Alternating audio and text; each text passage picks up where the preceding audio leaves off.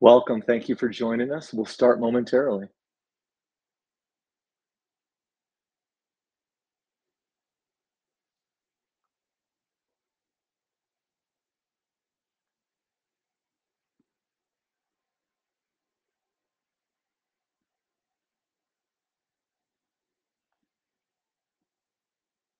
Welcome, everyone, to the fourth episode of Techcyte's webinar series, Pioneers of Digital Pathology. We are delighted to have a couple of pathology experts in Dr. Couturier and Blaine Mathison today.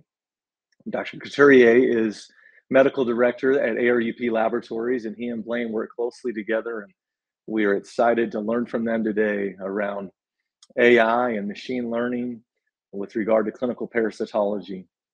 We'll turn the time to them in just a moment. Today, we plan to cover briefly who Techcyte is, and then we'll turn the time to Dr. Marc and Blaine for reviewing microscopic diagnostic methods today for stool parasites, the development validation of an AI model, real life applications in a diagnostic parasitology laboratory, future developments, and for sure we'll leave time for Q&A. Please feel free to enter your questions or comments into the chat at any time. Those are being monitored, and we will do our best to respond accordingly uh, at the end of the presentation. I'm Jacob Hicks, and I lead our sales efforts here at Techcyte. Just a bit about Techcyte. We've been around about a decade. Uh, Techcyte was founded as a technology transfer out of ARUP Laboratories in the University of Utah. And we have built a software, AI, and workflow platform that enables laboratories in the human medical space, veterinary, and environmental to increase efficiencies and accuracies and to help them be more productive as they are fighting the constant challenge of a labor skill shortage for microscopy skilled roles. We have been growing big and fast, and we've built a platform that everything from sample prep to analysis to reporting and all in a scalable, secure environment that's HIPAA compliant and recognizing that if our AI and workflow platform does not integrate into a lab's workflow, it really won't drive the value. Uh, we made some recent announcements this week as well that Techcyte's platform is not only for clinical pathology, but also even moving into the AP space, a collaboration with Mayo Clinic. Our mission is to be the world's leading digital diagnostics platform. And ARUP and Marc and Blaine today uh, certainly have done some amazing things as we've collaborated with them in the parasitology space. Without further ado, I'll turn the time to Dr. Marc Couturier and Blaine Mathison. Thank you. Great. Thank you, Jacob. Um, how do you fit six years into 25 minutes? Um, we're going to try to do that right now. So uh, Blaine and I have listed our relevant disclosures. Really, the most important are Techcyte and Apacor, uh, collaborators on our uh, parasitology work. Uh, Jacob already kind of went through the learning objectives, so just briefly, we'll review microscopy for parasitology. We'll talk about developing a model for uh, AI to use in parasitology for stool, and then uh, we'll talk about some of the implementation tricks and challenges uh, to get this into the lab. So I'll start with reviewing the microscopic methods for parasitology. So if we think of parasitology, the morphologic analysis is what's been done for over 150 years under rudimentary microscopes up to modern microscopes. In the last 30 to 40 years, antigen detection augmented some of that testing. In the last 10 years, molecular testing starting to start to creep into some of the test volumes. But a lot of the volume still teetered on the need for microscopy. And artificial intelligence and machine learning really became an integrated augmentation um, in the work that we did for the morphologic analysis on a microscope. So, what are the different microscopy applications in parasitology? They're, they're I mean, they're very broad. Um, you can do wet mounts, either direct or concentrated, trichrome smears, um, and those two are the components of standard O&P. Coccidian smears, either modified acid fast or the safranin stains. Uh, you can get histopathological tissue specimens with parasites in them, and you can even do sectioning of macroscopic worms to get definitive identifications. So we use microscopes a lot for uh, GI infections from parasites. And it's it's not trivial. Um, while the method's been around for decades to over a century, um, the process is very manual. So in our lab, we've we've semi-automated a lot of the processing, but uh, a lot of laboratories still do the sample to concentration to slide prep entirely manual. Um, so even with our semi-automation, there's still a lot of workflow, a lot of personnel that goes into it. Once we have a concentrated uh, stool specimen, then we have to make two preparations. The wet mount, which you see at the top, and the trichrome permanent smeared stain, which you see at the bottom. And both of those get interrogated on a microscope. And what is the technologist doing when they're reading these? Well, essentially, in our previous workflow, uh, a run of O&Ps was 30 trichromes and 30 wet mounts per technologist. This could take, you know, variably between two and a half to three hours. And historically, it would be about 98% negativity rate. And any positives that were putatively identified by the primary reader would then put them in a review queue for a second person to back read. And so, what is the technologist actually doing when they're doing all this work? They're basically just scanning across the slides. It's it's a random run um, back and forth across the slides to get a requisite field of view reviewed to feel confident either calling something positive or negative. Depending on the technologist, this time can take really anywhere between two to five minutes. Um, and it also depends on the specimen. So we talk about questionable negatives. Those are specimens that don't contain parasites, but they contain distractors and artifacts and, you know, stain inconsistencies that just make you question whether that specimen is truly negative or maybe you're missing some weird positive. Those slides can take over 10 minutes. So that's a, a very brief snapshot of what we do in classical parasitology. So we wanted to try to develop uh, with Techcyte basically a, a model and uh, apply it to stool, and that that's not the easiest thing, as we learned. And so, digital imaging of these slides, basically, the concept would be scanning the entire slide. That's that's the concept as I'll get to later. We didn't quite go with that.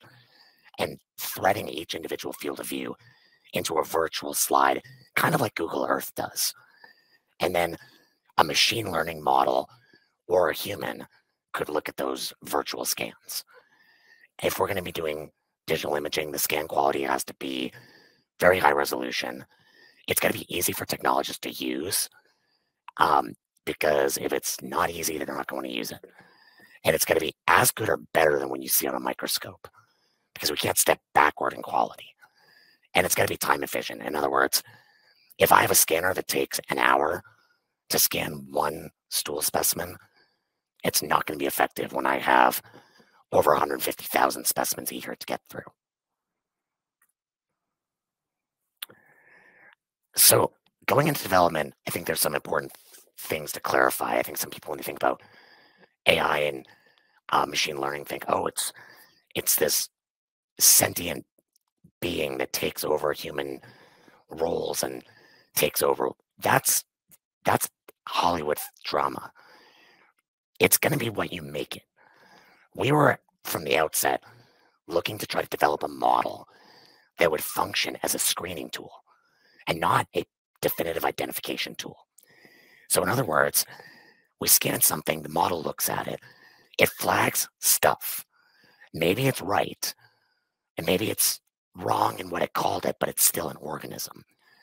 And that was okay because we have experts who can look at the images and then look at the slide to determine what it is. So this is a finder tool, so to speak, is what we're going for. And then the software is not determining a slide to be negative either it's been tuned to always show images of something because it's so sensitive at the expense of uh, specificity, which we'll go over later. And so, with that con- concept in mind, the goal was basically could we just knock out 70 80% of the negatives, where you just have to look at the candidate garbage images on a electronic interface and not have to actually scan all the slide to call it negative. And then in the meantime, still do our wet mounts as normal until we could develop a model for that down the line. So again, it's a complement, it's an augmentation to a technologist. It's not performing a result and it's not a replacement.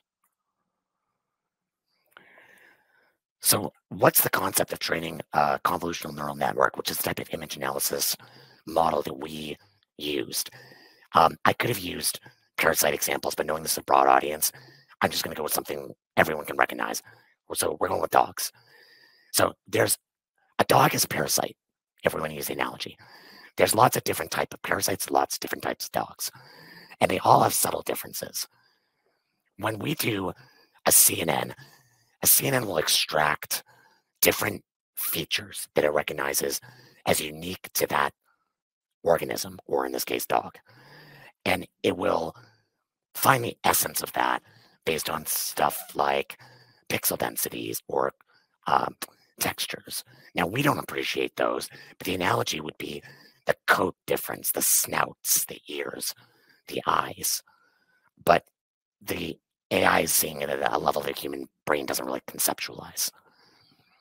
And then we classify these organisms, call them classes. And so that would be our pug, our husky. Um, and then we basically feed in lots of more data on those different classes. And we refine the model. We look at the data output through graphs. We look at performance. And then once we find a model that's performing to our expectation, to what we want the model to be able to do, then essentially we lock it down and start trying to train on it and validate. So we might get to the point where Husky knows all the variations of Husky, but it doesn't mean it won't eventually false call a wolf because a wolf looks kind of like a Husky. And that wolf may be a different class. And then you can go back and put that in and retrain your model to now know the difference between a wolf and a husky. So I talked a little bit about the performance that we wanted to get. So perfect specificity versus lower sensitivity, what would that give us? Well, that would identify everything that's true, but it's going to miss some positives. And we don't really want that. We want to detect every possible positive and have some false calls instead. So if we think of that yellow line there as being our triangulation, there we would identify every positive and we're going to see some junk on the negatives, but a human can decide whether it's worth pursuing or not. But really, what we want to do is find a sweet spot where this darker yellow line is right at the edge of all positives still detected, but we're minimizing the false positives, so we're the less wasted time to have to look at specimens that aren't significant. And none of this is possible if you don't have good data in and good images to evaluate. So here's just an example of some organisms with two different scanners. Scanner A gave really poor resolution, dark, um, difficult to discern features, and scanner B gave really high definition, really easy to discern features. So not every scanner is created equal. And then from a workflow standpoint, you know, the question is, do we really need to scan a whole slide? Because a human doesn't do that in uh, stool specimens. And so if we scan the whole slide, it would take 25 to 30 minutes, which is not feasible. So we came up with a theoretical slide scan area, which was akin to what a human actually scans. And that actually takes four to five minutes.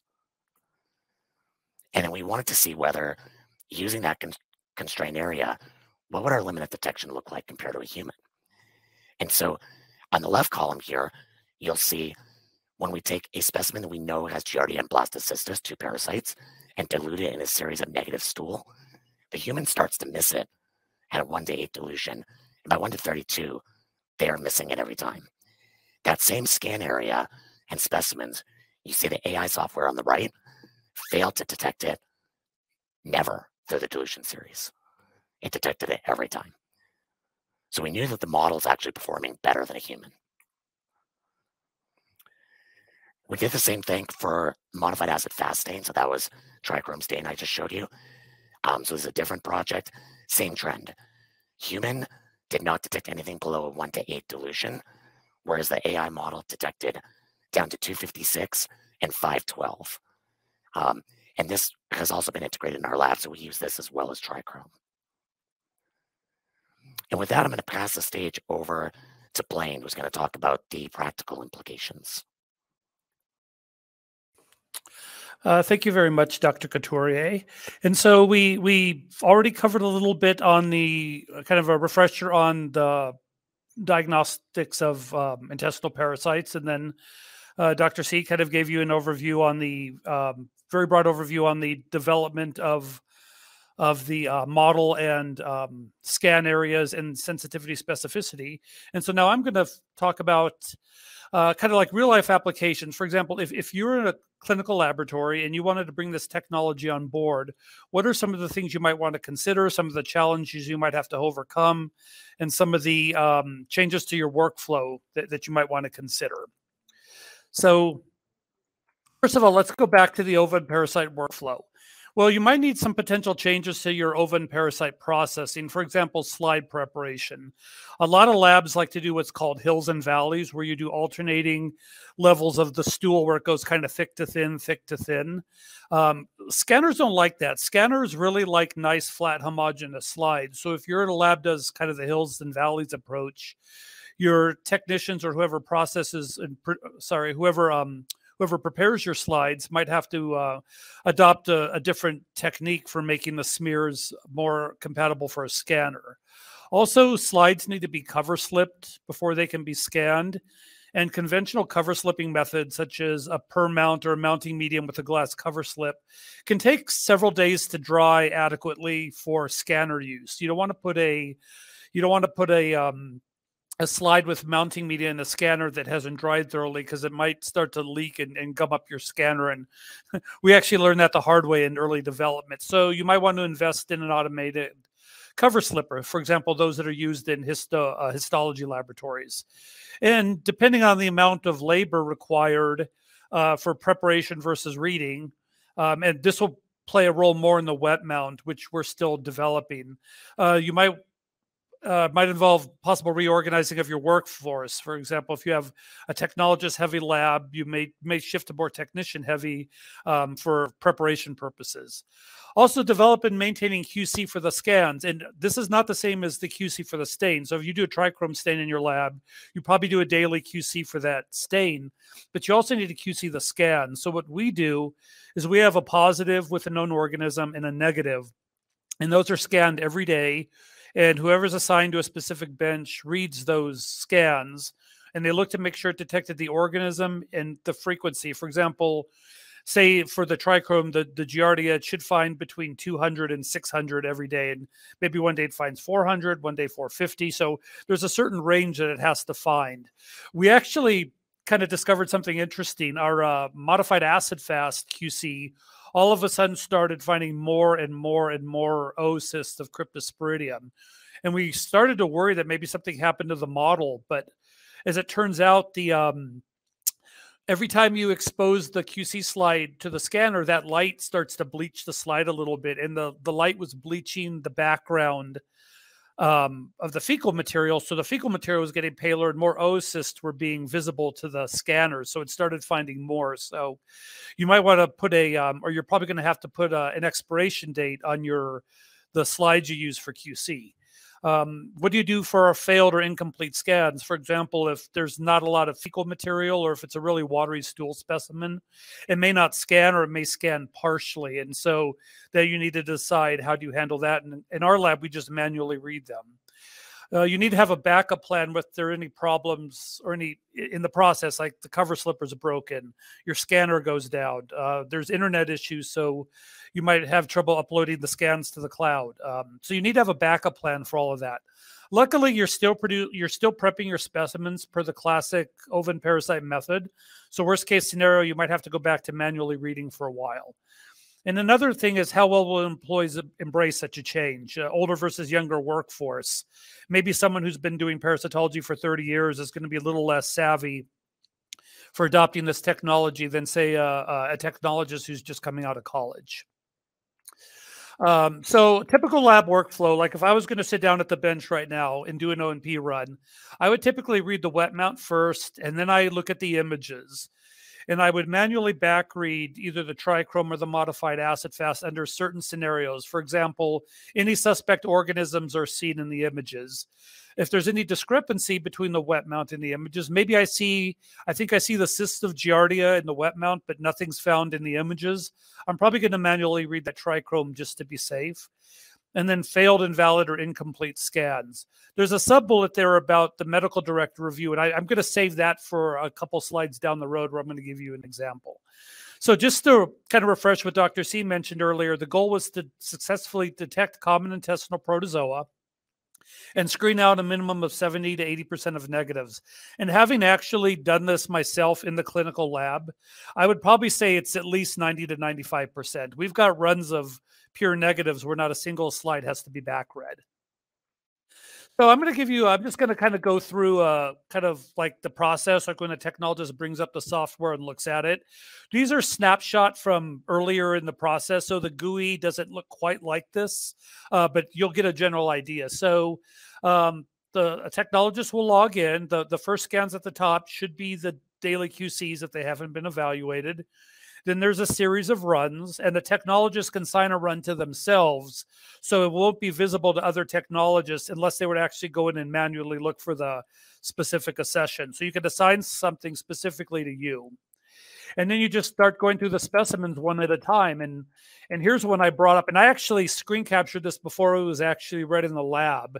And once I, after I kind of go through the process, I'll tell you what it was read as compared to what I saw just in the image analysis. So you could see, members Dr. C said earlier, it's it's it's sensitivity over specificity. So you could see it's going to flag a, a couple things in almost every category. But if the technologist continues to go through, they start to see, okay, now look, it called 83 dientamoeba and 88 in the Endolimax iodamoeba category. Now, these two categories are combined now just because of the morphologic similarities of them. But it definitely seems there's objects here that fall into that category. And as a technologist, when I look at these, these look very much like iodamoeba or Endolimax trophs to me. So I can click on an example and highlight it, and it'll bring it up a slightly larger plane. I can click on this exemplars button, and that'll show me images of these organisms in different fixatives and different stains to kind of show the morphologic variation um, that one might see to try to see if it matches anything. And then once I'm convinced, I check the organism and I set the slide set the slide aside, and then I manually read it for confirmation. So I did all this with these images prior to it actually being read in the diagnostic lab, but I went back and looked at this accession later, and it was indeed reported out as Iodamoeba buetschlii. Um, this is an example of kind of a clean negative. This just goes to show you that because we put sensitivity over specificity, it's always going to flag something. But a technologist can easily look at these images. I made them small just so you can appreciate how many it flags. But a technologist can go through these images within a couple minutes and say the slide's negative instead of spending two to three minutes analyzing it manually. Uh, we also created prevalence regions, and prevalence regions simulate a 100x with oil objective or a 1000x total objective. And the purpose of the prevalence regions are twofold. One, you could use it for enumerating things like red cells and white cells, so you don't have to manually pull the slide. And the other is you could it helps to see if your scan is complete if um, there's 14 prevalence regions and four or five of them are blank, it probably means they didn't scan in those areas. So you have an incomplete scan. So it's a good way to evaluate overall um, scan quality of that specimen. Um, and just to show you some images, just for more of a show and tell, here's what cryptosporidium looks like in the MAF model. You can highlight it. In this particular one, you can actually even see the individual sporozoites in the oocyst. Um, here's what cyclospore stain looks like. Is those of you who identify cyclospore, you know it often doesn't like to stain. So we also um, We also train on the ghost forms. The end user only sees cyclospore. They don't see uh, um, stain versus ghost. It's all kind of rolled into one class. Uh, here's the lab workflow. I've, I've kind of gone over this earlier in a slide, so I'm not going to beat it too much. I'm not going to go re repeat it too much, but I do. Let me let's follow this pathway here to the left, where suspect organism seen, technologist review slide, organisms um, flagged by the software, confirmed by manual read or further identified. Let's go to the right here where it says no. This is when the the technologist where the where there's the technologist sees things in the images that they're pretty sure are parasites, but they're having a hard time actually finding it on the manual read. So in this case, they can go to medical director review, and the medical director can look at the images and say, "Yeah, that's classic for this organism. Go ahead and report it, even though you couldn't find it on the trichrome slide." And here's an example where that happened. If you can look, see here, this one example under Giardia troph. There's just one example, and I enlarged it so you can see. Any microbiologist trained in parasitology can look at that and be like, this is a pretty classic Giardia troph. But they spent about 20 minutes and couldn't find the darn thing on the slide. So this went to medical director review, and Dr. Couturier was able to look at it and say, yeah, that's Giardia. Go ahead and report it out accordingly. Um, and this also goes back to our LOD studies where that help demonstrate that the uh, that the that the scan profile and the model are, are probably more sensitive than your average technologist. And uh, for this last section, um, I'm going to briefly go over future developments. This is the development of the wet mount model, and we're currently working on this right now. But I do want to go over it just as kind of a fun show and tell to kind of let you guys know what's down the pipeline for us. So with wet mounts, there's a lot more challenges than you have on a permanent smear. One of them is the acquisition of rare classes. Just because you don't see schistosoma in your lab, but once every five years, doesn't mean a patient isn't going to come into your lab with a schistosome infection. So we have to be able to train on things like the schistosomes and the hookworms and the capillarids and all these kind of rare and esoteric worms that are likely to be seen in a patient, even though you may not see it, but once or once every five to ten years in your career. Um, we had to, because of the the drying of a wet mount of a you know a wet wet mount with a cover slip, we had to develop a mounting medium to help slow the drying process, so you could produce multiple slides and send them through a scanner without without drying too fast. You need a scanner where the slides are loaded flat, and if there's mechanics on the scanner you know, it needs to be able to move it so the cover slip doesn't shift around too much. Uh, development of a scan area in your typical ova and parasite workflow, the entire 22 by 22 cover slip is read enti- is entirely at uh, 10x and often entirely at 40x as well. So, how do we develop a scan area that's going to catch the large worm eggs in the small protozoan cysts, but still maintain um, a good scan time? And the last and another one is finding the optimal levels of scan. As we learned in during our development, the little protozoan cysts and the large helminth eggs and larvae don't necessarily settle in the same plane. Some settle up here, some settle down here. So it might actually require scanning the slide multiple times.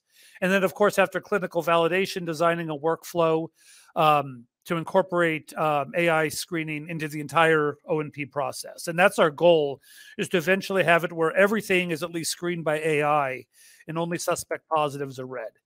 Here's a cool little slide that Dr. C put together. This is kind of a, a wet mountain side view, and you can, it kind of demonstrates how different things will settle at different levels. And so if you scan up here, you're going to catch the worm eggs. But if you scan down here, you're going to get the protozoan trophs, but you might miss the worm eggs. Um, and lastly, I know we're really close on time. I'm just going to go through some fun um, photos to show you what some of these organisms look like in a wet mount. So these are trophozoites of Chilomastix. This photo was actually not taken by the scanner. This was um, for the uh, mounting media uh, study I did to helping to develop a mounting media that doesn't dry too fast. So these photos were taken about two hours after the slide was prepped and lets to sit at room temperature. Uh, same thing with this Giardia trophin cyst, this Strongyloides larva, and this Trichuris egg. And there might be one more. Yeah, and this Belanthioides larva. So these were all taken on slides that sat for about 90 minutes to two hours at room temp. So this was part of our mounting medium drying study. And then these next few images just kind of show you what these organisms look like in the GUI. So these are Paragonimus eggs and Strongyloides larvae. Because Strongyloides are large and can coil up, we only trained on the anterior part of the worm. So we only really trained the software to recognize from the buccal entrance to the to the esophagus. So most of the time, the software is going to flag it on the anterior end. Um, Here's hookworm eggs and the eggs of uh, Clonorchis and or Opisthorchis. Again, most people don't see this in their career, but you never know when a patient might come in your lab presenting with this disease. So the software has to be able to find it. Here's pinworm eggs. Pin, you know, wet. You know, you don't order an ovum parasite exam if you suspect pinworm, but they are shed in stool and might be detected. Uh, here's a bunch of Ascaris eggs. We trained Ascaris on all four morphotypes fertile and infertile, decorticated and mammillated. So um, the software should be able to pick it up no matter what's presented in the stool. Here's some more uh, Balantioides coli trophs.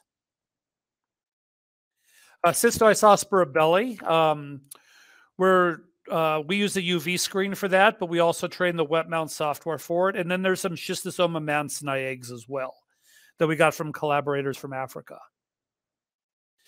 So, in closing, artificial intelligence such as machine learning can help improve the workflow in a diagnostic lab by one of several methods. One is improving turnaround time.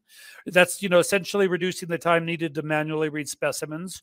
Screening out at least 80% of your negative specimens we didn't touch on this much because of time but it less microscopy also means reduced ergonomic injuries that might be associated with prolonged mic, uh, microscopy improves employee satisfaction. You know, your employees, instead of spending hours looking at negative stool, whenever they actually have to pull a manual slide, they're actually scrutinizing and identifying something that's putative positive for a parasite. It might be more engaging for an increasingly younger workforce, and um, it could allow for image uh, uh, analysis remotely. So, as we work from home more often these days since the COVID pandemic, maybe you could have people who actually help perform this task while working remotely from home. So uh, there's a lot of ways that AI um, and digital uh, digital imaging and machine learning can help improve the parasitology workflow in a clinical laboratory.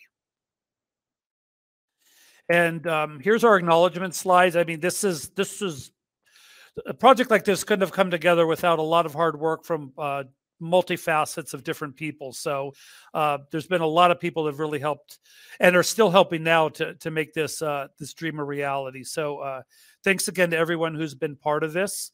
And with that, I will turn it over to Jacob, I believe.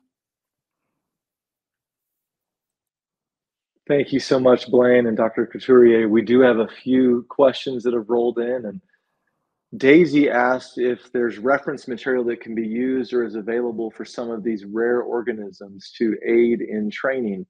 Um, I'll briefly respond and then um, Dr. C or Blaine, if you have anything to add. Within the tool itself, the Techcyte platform, there is an exemplar resource. So organisms that are more commonly seen and the more rare ones, any images that have been in the data set can be viewed to help assist with training. We also have a clinical education portion of our platform where users can even add their own additional scans or images to add to the library. Uh, Marc or Blaine? Um, from yeah, from an image standpoint, for for training, if you're talking about training staff, I think maybe even training a model. I think that that's where I'm not sure where the question is. Training I, I suspect I suspect they're asking how do you get specimens if you want to validate this in your lab. Okay, so that's right? an even different question. Yeah, yeah, oh, that's oh, how that I interpret it, but I could be wrong. Okay. Um, well, I guess depending on which the question is, so I, let's let's hit on all three real quick. Training the model. If you go with the Techcyte product that's already trained, you don't have to do anything. Um, you have to verify the performance in your own lab. Verification that will get tricky. Where do you obtain the organisms? Some are available from uh, commercial sources, um, and some are not. Some we really have to scrounge collaborators in Africa, Asia, um, veterinary sources in the United States who are awesome to, to help us out to get some of these. So so that is a that's gonna be the challenge, especially for the wet mount model. Yes. Thank you. Alexander asked, what mounting media do you recommend for wet mount? For to work with this the development we're doing again, we are not done this development. So we developed a specific media that's at this point proprietary till we publish it. Um, so once we publish it, it will be public domain. Anyone can use it. But at this point, it's our it's our research data, so we're not divulging the exact makeup of it. But it will be as soon as we can finish the work and fast track publication. It'll be all the details will be out there for anybody to to uh, mirror the, the prep process. Thank you. And then Eric asked, what scanner do you recommend? So I'll, I'll answer high level. The Techcyte platform has intentionally been built to try to be compatible with various scanners depending on the sample type. You heard not all scanners are created equal. I think it's how Dr. C said it. And depending on the sample type, from parasitology to bacteriology to pap smear to hematology to tissue, whatever, uh, Techcyte would give some guidance and steer and then depending on your volume needs as well. So small capacity, medium capacity, large volume. Uh, Dr. Marc and Blaine, you two have been exposed to quite a few. What would you add? What scanner do you recommend? I mean, I think that's a good point. It's it's what are your what are your models um for your lab like throughput? Like how do you do your lab? Do you do onesie twosie as they come in? Do you batch runs because you have high volumes? Those are considerations you're going to have when choosing a scanner. Um, we we really preferred a scanner that gave really high resolution images. Um, for us, that's just because our volumes are so high. Some of the scanners with low resolution images, they still, at the digital level, they still identified the organism enough that the model could detect it. But when you try to review it in the interface, it was it was almost guesswork. So if you have really low volumes, that might be fine because your positivity is probably also low. But for our volumes and our positivity rate, that was going to be an impediment. So we chose the higher resolution scanner with what's what's called a uh, depth of focus uh, best find essentially. That's not really what it's called, but it's think about it like focusing and capturing pictures at multiple levels and then saying that's the best one and it shows you that and it makes a composite. For our needs, that was really the best option, but that may not be the solution every lab, lab needs. Yeah, and also, you know, we've been sent with this from the beginning, so scanners have changed and stuff over time, mm-hmm. and maybe the one we're using for trichrome isn't appropriate for wet mount. So it's uh, what we do may be different than what someone who gets a commercial product from Techcyte is going to get. So, um, because we've played with a lot of different scanners uh, over the the last what four or five years now, six years, six years. yes. That's right. And the Techcyte team is happy to consult uh, with those depending on the application and the volume requirements. We do have a couple other questions, and I think they're ones we will follow up uh, independently. Uh, some ones related to LIS and results and where they're stored. Um, yeah, so we'll, so we'll do that offline with those of you who raised those questions. Really appreciate it. We just want to be sensitive of time. Dr. Couturier, Blaine, thank you so much for your energy and enthusiasm and your your wisdom here today. We've learned a lot and are delighted to continue to collaborate with ARUP Laboratories. Once again, thank you to all of you attending, and we hope you have a wonderful day. Thanks so much, Jacob. Thanks, Jacob. Thank you.